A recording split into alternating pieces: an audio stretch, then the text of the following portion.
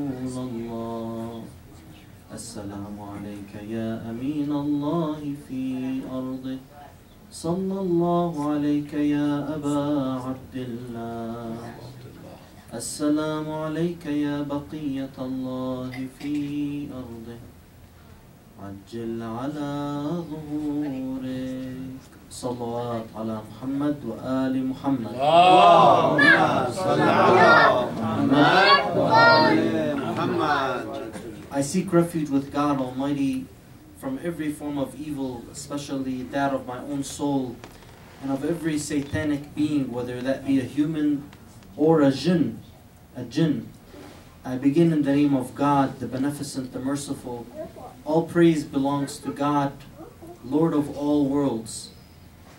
And I ask Him to shower peace and blessings upon the chosen ones and upon the guardians of their message, especially the final chosen one, the seal of all prophets and messengers, and upon the twelve guardians amongst his progeny. Ala Muhammad wa ali Muhammad. اللهم صل على محمد وآل محمد Assalamu alaikum. Peace be upon you all, and the blessings of God Almighty and His mercy. God Almighty says in the Holy Quran, وما كان المؤمنون لينفروا كافة فلولا نفر من كل فرقة منهم طائفة ليتفقهوا في الدين ولينذروا قومهم إذا رجعوا إليهم لعلهم يحذرون This is a verse I mentioned yesterday. One translation reads, Yeah, it is not for the faithful to go forth en masse. They shouldn't go all together for this aim. As some uh, tafasir say, either on the defensive struggle of jihad or for seeking knowledge. Not the entire community goes out to the battlefield. Not the entire community goes to become specialists in the Islamic faith, in the religious studies. But why should not there go forth a group from each of their sections to become learned in religion? So if not everybody can go and do it, we need some people that stay back home, that make sure that society functions, that community, the community has those to fulfill its various needs in different areas of specialty. We need the doctors, we need the engineers, we need the people who will be specialists in the various fields of human life, whether they be fields that require technical study or academic study, whether they require practical skills or they require academic skills. There are different features and different aspects of life that require different sets of skills. Not everybody is to become a specialist in religious studies. Not everybody is going to be dedicated to defending the front lines of the, of the country or the, the community. There are different functions, and without these different functions performed by society, different members of society, the community would not be able to function. But why should there not go forth a group from each of their sections to become learned in religion and to warn their people when they return to them so that they may beware? Yesterday, I mentioned this verse in the context of one of the one of the lines of argument or one of the references that are given to argue from for the issue of following scholars, for the issue of having a group that goes and seeks religious knowledge to become well equipped enough in order to deliver the message to the rest of the community. So we need a group of people who become specialists in religion. We need people that seek that knowledge, and we need the ones who are going to hear that knowledge to accept it and to follow it, to beware, to be conscious in their choices as a result of what they have come to learn and come to know. I mentioned this in addition to other lines of argument, some that are mentioned in the hadith and others that are more that are closer to home in the sense that they're just using sound-minded reasoning. I'm gonna hone in on that last last line of reasoning today, and I'm going to continue from where I left off yesterday after I make this this summary. At the end of the day, what we're looking for is how do we have a clear conscience before God? How do we have justified choices? How do we have excusable choices in this test of life? When we're brought down into our graves, may God protect all of you and extend your lives in the best of ways. But the reality is, even if we live for a billion years, in the billionth year, we have to face the reality that this is our last year. And we will enter a grave. And in that grave, we will face the questions, as it's been reported, the questions of those angels that have been delegated with that task of questioning us for our choices in this life. What answers do we have when we will be asked, why did you make that choice? Why did you believe that idea? Why did you follow that leader? All of these different questions, do we have the answer to them? How do we know that we're in the safe zone? To know we're in the safe zone, we start by answering questions about our worldview. Where did we come from? Where are we headed? What is our state in the place that we are in right now? And how do we get to where we're headed safely and securely? These are the questions that we've talked about, and these are the questions that the main religions on earth, the, the key religions that are attributed to the belief in God, belief that God sends prophets and messengers, the belief that there is a day of judgment, a time in which all records are set straight. When the records are set straight and there's a recompensation for the things that happen in this world, because you don't see that always things are accounted for in our day to day interactions. Some people that have been wronged may go to their graves and never get their rights back. Other people that have done good may never be rewarded, even until the end of their life. When are the records going to be set straight? Where good is recompensed with good. The rewards are given to those who have done well, and those who have committed wrong are held accountable. That is one of the reasons why we believe, rationally speaking, there must be a day in which there's a judgment. And all of these records are set straight. The scripture tells us the specifics about that day. And that is the day of judgment. How do we know that we're in the safe zone on that day? We start out by trying to answer these questions of who started this whole universe? Who is giving us that power to continue to exist at every moment? God Almighty. Does He leave us without guidance in this process? No, He sends prophets and messengers. Do those prophets and messengers come for their people at their time and then leave the rest of us, the future generations, without guidance? Not at all. The guidance is preserved. It is protected by the guardians. Those are 12 guardians, as we mentioned, the evidence shows. The scripture, the Holy Quran, as well as this, the, the dictates of sound reasoning and what you find from the evidence of the hadith, the heritage that has been inherited generation after generation from the words of Prophet Muhammad sallallahu alaihi wasallam and the guardians one after the other, the imams, the immaculate imams, the ma'sumin, those who together with the prophets and the messengers are the ones of as-sirat al-mustaqim, sirat al-ladhina an'amta alayhim, the path of those you have blessed. They are the ones who God has blessed. In every choice they make, they are on the path of guidance. In every way they turn, that's where the Sirat al-Mustaqim is. And this is one of the indications that gets us to reflect on knowing without a shadow of a doubt that they are immaculate and impeccable in every choice that they make. Not only the general choices that you think that they would be aware and conscious of everything that they, they are doing at that time.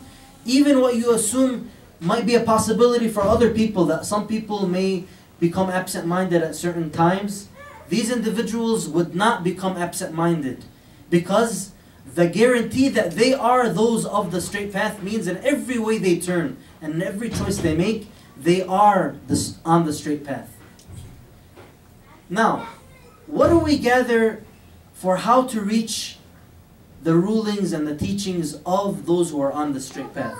Once you've come to understand this worldview and you believe it with conviction and you're sure of it, and you face your Lord believing, I testify, there is no God but God. Muhammad is the messenger of God, and the 12 guardians are my imams.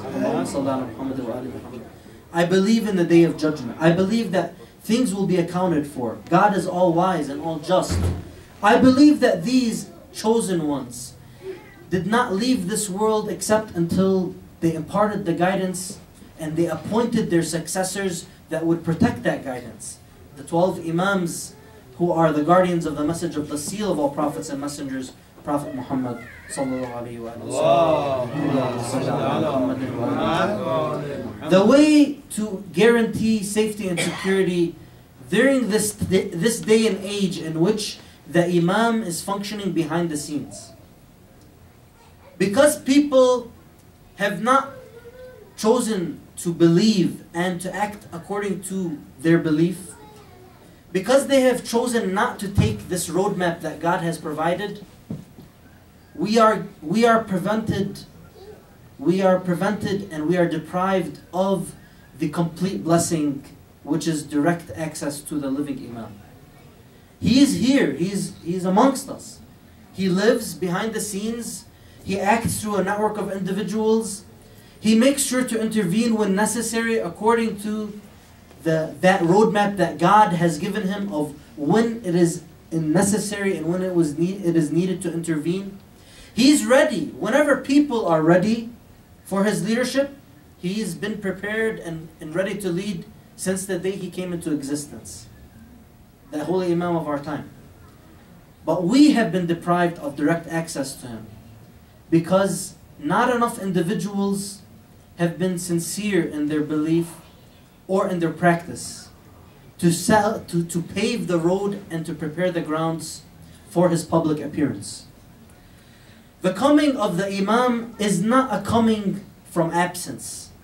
The coming of the Imam is a public appearance from a life incognito, according to many lines of argument that you can see from, from rationally speaking as well as from the reports of Ahlul Bayt.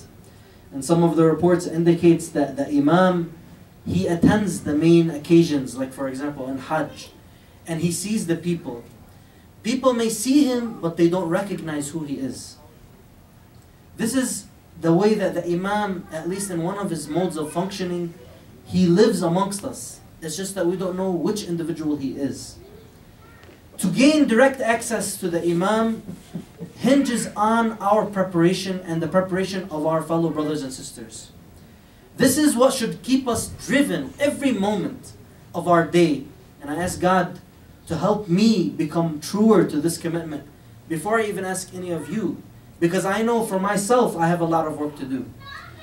Even our greatest of scholars, they would advise us not to worry too much about what the signs of the reappearance will be. What are the, the points that may be indicators that the time is near? But rather to be prepared at every moment that it could be today, it could be tomorrow. This is indeed what can have an impact on making that date come closer or making it further away. For indeed, the appearance of the Imam, although it is a sure certainty that it will occur, our choices have an impact on when it will occur. Our choices have an impact on the signs of his appearance. And this is something that is discussed on the topic of bada, which is another topic I won't get into right now. But the fact that our free will, our choices have an impact in the system for determining when the time is ripe for the Imam to declare his public appearance. Because it's not something that's just going to happen through miracles. The appearance of the Imam and his mission and his reign of world justice is not something that is done simply through miracles. God's way, as you find through the message of the prophets in the Holy Quran, you find through the stories of the Imams in history, it is not something that is done purely through miracles. Miracles are used, or in other words, acts that are beyond the norm, are used for specific purposes to establish truth claims. To establish that this person is the person he claims to be, the one who is connected to God, the one who is the guardian of the message, the one who is representing Prophet Muhammad. So we should not be thinking that the time of the Imam's return is the time, or when I say return, I mean his public appearance. It is not a time when we're just going to be looking for miracles left and right. The Imam, his appearance, in part, hinges on the preparation of those who he is coming to guide and lead. There is a group of individuals, there is a threshold of individuals that need to be prepared in order to hasten the appearance of the Imam. These individuals have piercing insight. They believe in Prophet Muhammad though they have never seen him. They believe in the Imam even if they have never seen him. They believe that he must exist because they have a proper understanding of what God is and how God is one and how God is just and how God is not like anything of his creatures and how we are in need of him in every moment and every step and everything we do. There are individuals that act according to that faith that they have. And they prepare the grounds by many levels of preparation. Not only do they personally practice what they preach, but they also help others to come to understand things and help to get others inspired to also fall in line with that preparation. What is the first way we have to be at the service of that project of ushering in world justice that is represented by the mission of Imam Mahdi and the mission of our Master Jesus, peace be upon him? What is that mission? How do we put our foot in the right direction? What is the first step that we take? After having established this worldview and knowing it through our own independent reasoning, you come to understand this with your own mind. Not because the sheikh said so, not because that sayyid said so, but because it makes sense to me. I believe that God exists because nothing can happen without a cause if it needs an explanation. God is the only thing that is self-explanatory. I know that God has no limits, He has no deficiencies, so He has all the power, all the knowledge, all the wisdom. He has no reason to commit any injustice. Doing anything that is not befitting of wisdom would not be befitting of His excellence. So He always has a purpose why He does things for us, a purpose for us to achieve. Not for Him, He has no need. He has nothing to fulfill for himself. It's for us. He sends us prophets and messengers to show us how to achieve that purpose. And then he guards that message by appointing impeccable guardians. The miracle of the Quran showed us that the seal of all prophets and messengers is Muhammad and that his guardians, Allahumma salli ala Muhammad wa ali Muhammad, through the Quran, through sound reasoning, and through the words that we've inherited in the hadith heritage tell us there are 12 guardians. No more, no less. This, share, this brings you to the path of the 12 Shari understanding of Islam. Now what? What guarantees our safety and security in the next step? Well, there are some things that are givens in this path. You know that there are five daily prayers. You know that there's the fast of the month of Ramadan. You know that there are certain acts which are surely forbidden. You know that drinking alcohol is forbidden. You know that lying is forbidden. You know that back, backbiting is forbidden. You know that all many things that are givens on the path of Ahlul Bayt. All Muslims agree on some of the things, and at least all Shia agree on some of the things. That much you know on your own. This is kind of like common knowledge.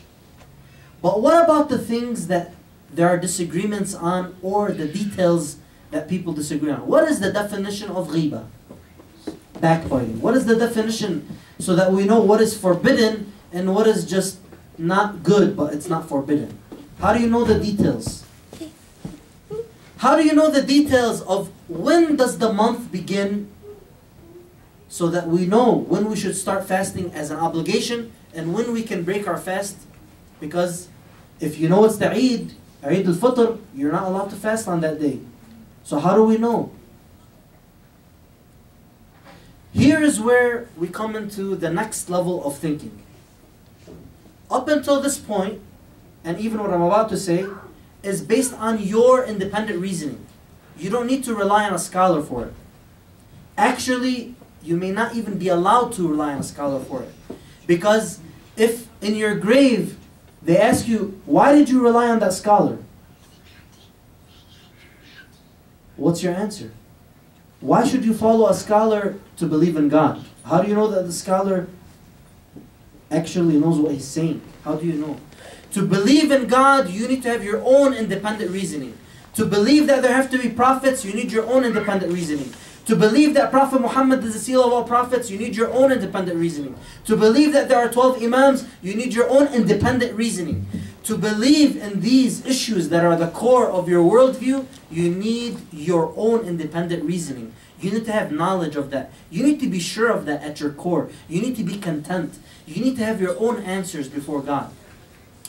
But when it comes after that, now that you know that the path of Ahlul Bayt is the correct path, the path of the 12 Imams is the 12 is the correct path, now whatever is established on that path, you can take as a given.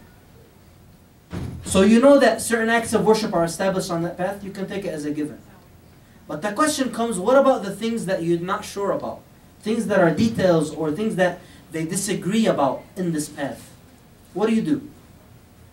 Well, either you go and become a researcher and an expert on your own and develop your own independent reasoning about those details, meaning you become a mujtahid, you become your own expert on these issues.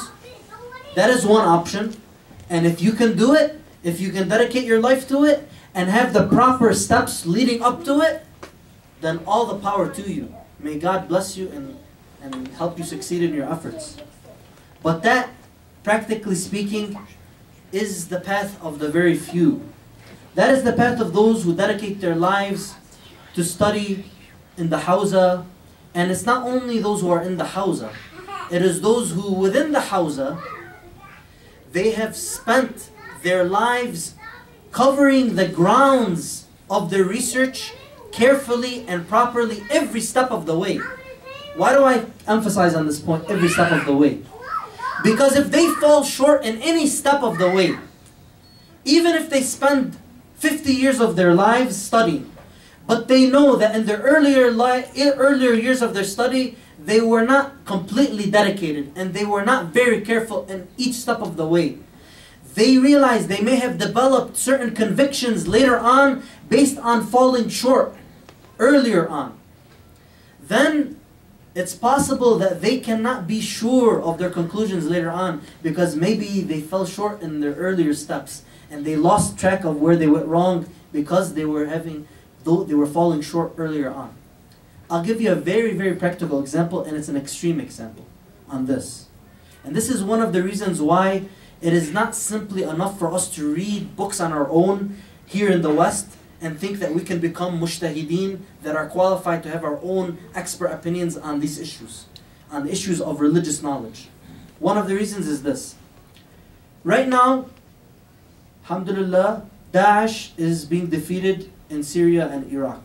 Today, they said that, that that mosque in which Abu Bakr al-Baghdadi had given his famous speech declaring his, his supposed caliphate, that mosque unfortunately was destroyed. Not because, I mean, it's a good thing that this the symbolic issue of Daesh was defeated.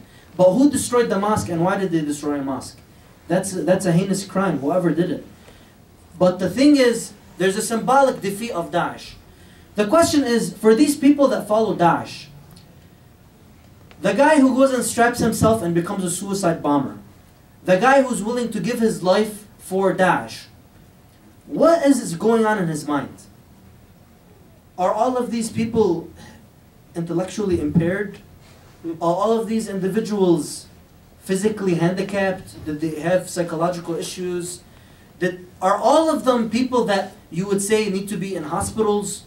What happened? Where did they go wrong? Well, whether it's Daesh or any other person who reaches a flawed conclusion, they must have gone wrong most of the time, at least, at least for the vast majority of cases, if we want to be reasonable.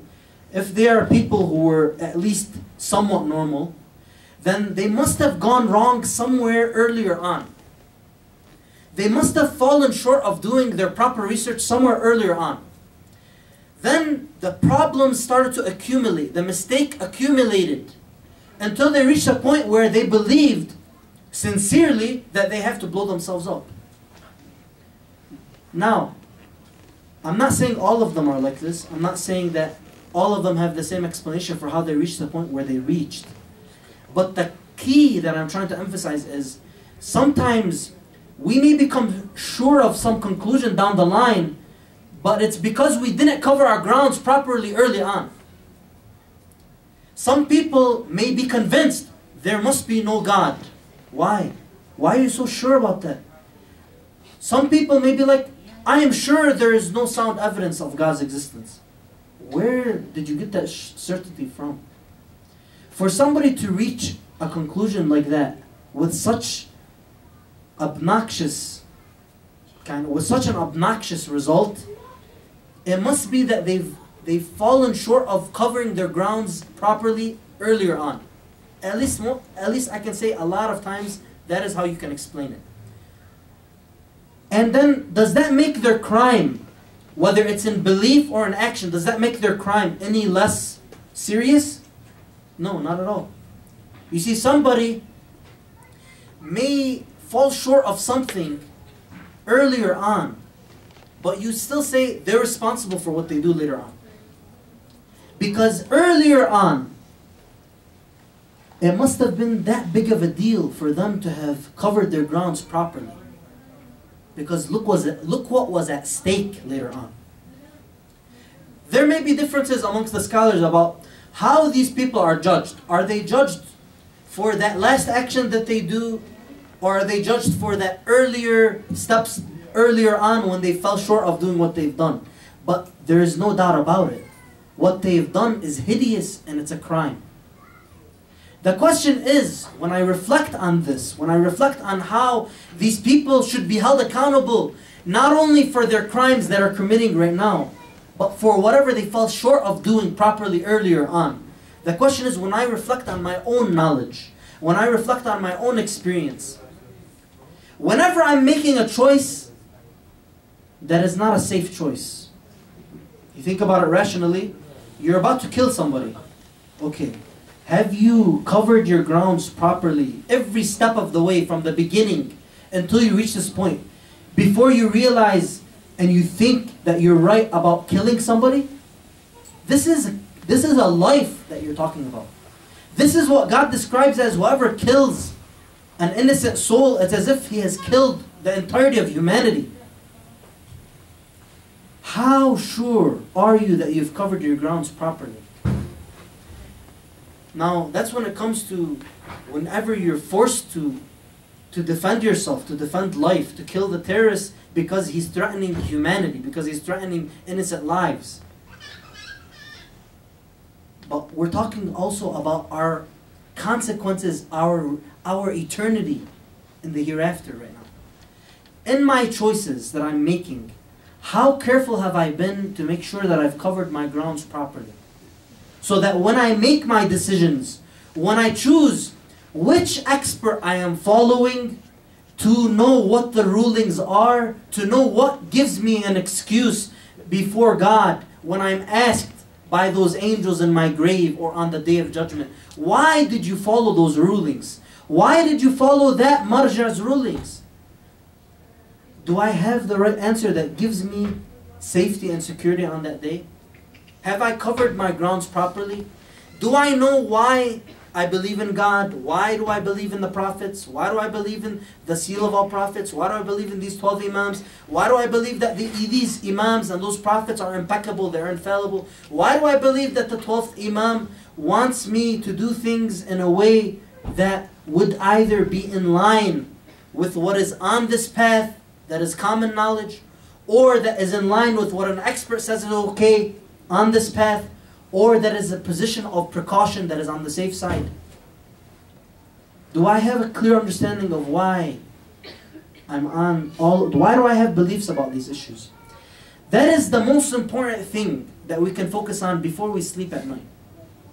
Because if I don't have a clear answer on these issues, then I should stay awake, sincerely seeking guidance through contemplation, through reflection, through sharing my thoughts with others to help to come to a clear conviction about these issues until I am. But inshallah, hopefully all of us here who have been reflecting on these again and again with the different opportunities that we've had, whether it's on our own or in gatherings such as this or in reading on our own, inshallah we have a sincere conviction about why we believe in the 12 Imams. Why do we do these common acts of worship that we believe in on this path? But what I'm moving on to today is how do we know what to do on the issues that scholars disagree in or in issues that it may not even be possible for me to side with precaution? What do I mean? Either you become an expert yourself, and I, when I say expert, I don't mean just an expert. You may be an expert physician, but you're not an expert in Islamic studies. What I mean in Islamic studies I don't mean the academic study of Islam. I mean the Hawza study of Islam. I mean the study of Islam that you find in the Islamic seminaries that are on the path of the 12th Imam. I don't mean Islamic studies that is the academic study of Islam from a perspective that does not adopt those beliefs. I'm talking about those who are representing the Imam, who are the transmitters of the hadith of the Imam, who are upright on the path of the Imam. You may be an expert engineer. You may be an expert nurse. You may be an expert mechanic. You may be an expert in whatever you do in your life. The skill set that you have. Each of us has something to offer قِيمَةُ كُلِّ امْرِئٍ مَا يُحْسِنُهُ As it's been attributed to Imam Ali alayhi salam, he says, the value of each person is what he knows or what he does well. What he has skill in. مَا يُحْسِنُهُ but when we're talking about Islam, when we're talking about transmitting the hadith of the Imams, the knowledge of the Imams, we are not looking for the doctor in the room to ask him, What do you think? Unfortunately, this is something that is a common misconception, perhaps taken for granted in our communities, at least that I've seen in different communities, different cultures. We think that if somebody's a doctor in something, Therefore, now they're an expert in everything. We look to them as an expert in politics. We look to them as an expert in every every question that comes to mind. Perhaps, and maybe I'm exaggerating a bit, but you get what I'm saying. We think to the doctor as, oh, he must know the answer, or his insight is more important or valued than somebody else's insight on this issue. That is wrong.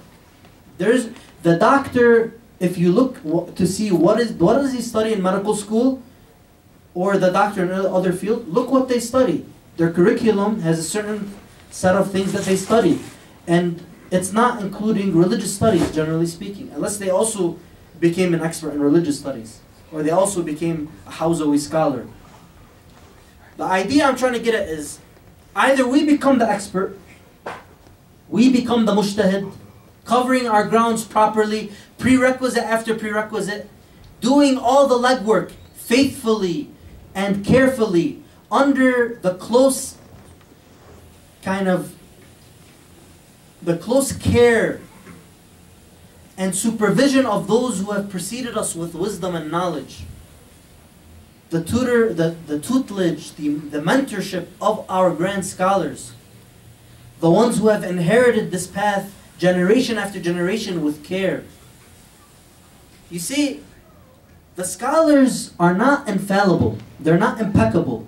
They're not necessarily impeccable or infallible.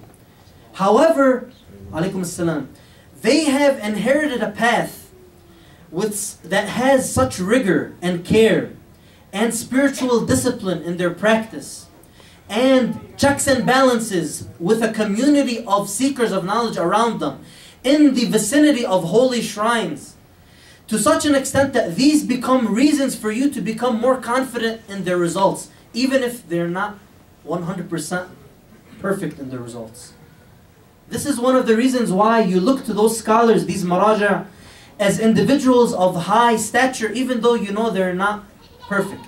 Even though you know that they may make mistakes sometimes in their conclusions, or you know that they may disagree, so one of them may, must be wrong. However, they have enough qualifications for them to be transmitters of the knowledge of Ahlul Bayt. They are adil, of, an, of a lofty level of adala, at least for some of them. An elevated level of adala, of being upright and just on the path of Ahlul Bayt in their practices and what they do and what they don't do. To such an extent that their reputation precedes them. To such an extent that even amongst believers that are very practicing in the vicinity of the shrines, they have come to be known as individuals of such upright character, where nobody even asks anymore, is this guy adil or not? It's a given. You ask about whether they're mujtahid or not. You ask about whether they are the most learned or not. But as for the adala, many of them, of the top leading maraja, it's a given because of their reputation in those communities. That has preceded them to the rest of the world, spread to the rest of the world. So if you can't become or you do not choose to become that mujtahid yourself, to follow your own opinions, to reach a level of knowledge for your own, that you become able to make those independent judgments on your own, then what can we do? What we can do is we can refer to those scholars as you would refer to an expert in any other facet of your life.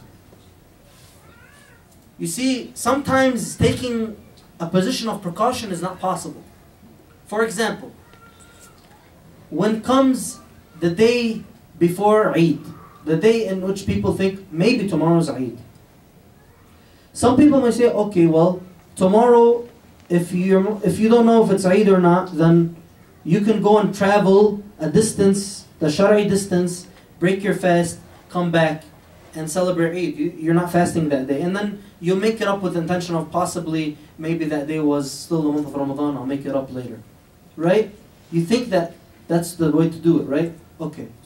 But how do you know that that is actually allowed? How do you know that that's something that's allowed? You would have to see if the experts they say that that's allowed. Unless it was common knowledge, you'd have to know what the experts say about it. What intention do I have to have when I do this? You need to know because the experts have done the research to figure out is there a difference if you make the intention? Do I have to travel at a certain time when I want to do it? Do, what do I make on the intention of that morning? And I mean, exa for example, that morning when I want to, when it might be a day of month of Ramadan, that morning, if it's the month of Ramadan, I'm supposed to have the intention at the time of Fajr, right? So, what did I have the intention of time of Fajr at that time or not? And then, knowing that I was gonna travel, did that make any difference on my intention? I'm bringing up possibilities to think about that. You think sometimes that precaution is always possible when sometimes it's not that clear.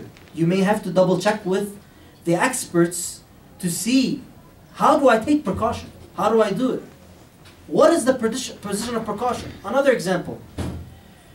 Are you aware, for instance, that there was once an opinion, or at least in some details, in some cases in which the Friday prayer, the Friday Salatul Jumu'ah, is forbidden?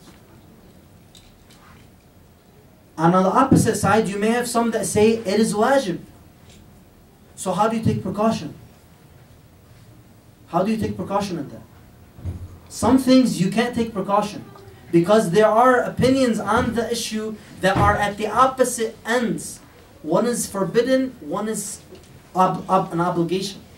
So taking precaution, although it's possible in many cases, it is not always possible. Sometimes you need to double check with the scholars to see, the, the expert scholars. When I say scholars, I'm referring to, in this context, the maraja, which is a much higher caliber of scholarship than the way we use the word scholar in English.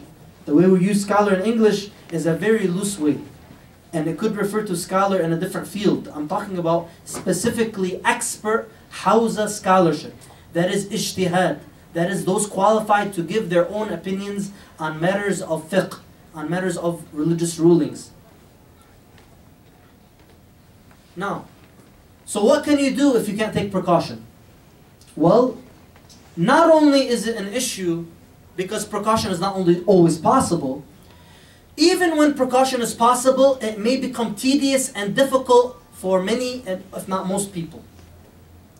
For instance, if I live in, I live the, the travel distance away from Manhattan, okay?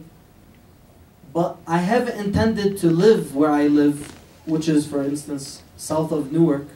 I haven't intended to live in this that town or city that I'm in for a, a, a time that is like more than two years. Then this place is not necessarily, if it's not more than one and a half years, for instance, it's not a permanent residence for me. Okay, so when I'm at home, how do I pray?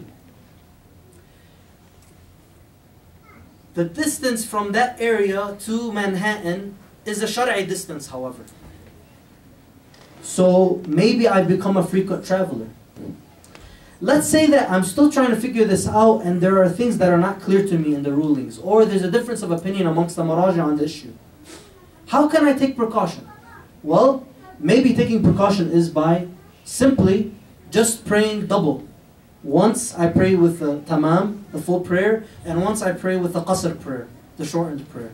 And for the rest of the time that I live in that area, on throughout that distance, whether I'm at home or I'm at the university or on the way, then I'd have to do my prayers all the time, doubling up for those prayers that you usually would shorten if you're a traveler, other than frequent travelers.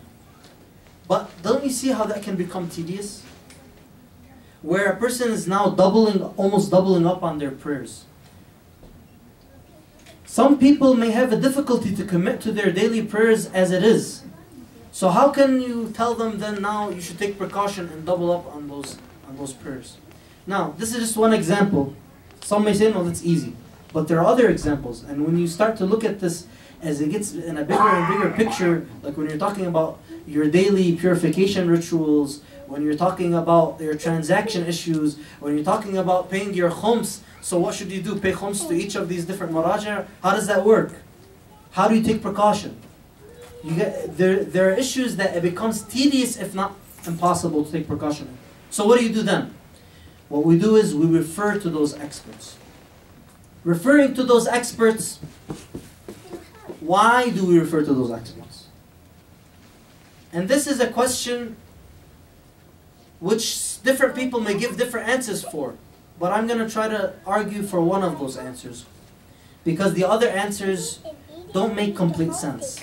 Some may say, for us non-experts, the reason why we should refer to the marja is because the marja told us so. But hold on a second. I'm gonna ask him why I should follow him. Why should I have followed him to begin with about that question? Isn't that circular? When you say, I'm gonna ask that marja about why I should ask that marja. That is circular. It doesn't make sense. It's like saying, I won't get out of this room until this brother who's sitting right here gets out of this room. And he says, I won't get out of this room until you get out of this room. This is depending on this. His opinion, the marja's opinion about why I should follow him, for me to take it, it means that I already have established that I should ask him in the first place. Why should I ask him in the first place? So that's not the answer. That's a circular argument. It's not because the marja says so. Some may say, well, it's because the Quran says so. But the question is, are am I qualified to deduce the ruling from the Quran to begin with? These are verses that have been discussed by the scholars, different intricacies. There's different things to take into consideration when I look at a verse in the Quran. Are there any other verses that qualify it? Are there words from Ahlul Bayt that qualify it? Is there a practice of the community that we have inherited generation after generation that clarifies it or qualifies it? These are things that experts deal with when they're deducing rulings. So, am I able to deduce the ruling from the Quran directly? No. So that's not the answer. It's not because I'm able to access what the Quran says directly. Then what could the answer be? Some may say, well, it's because the Imam said so according to this report, in which the Imam says, أما الحوادث الواقعة فارجعوا فيها إلى رواة حديثنا for the occurrences or the events that occur, the hawadith that come up, refer regarding those issues, refer to these people who are who? The transmitters of our hadith, the ones who transfer our knowledge. Maybe because the Imam said that, right? However, the problem with this is this is one of the most important reports that is studied by the experts and they disagree on completely what to understand from it.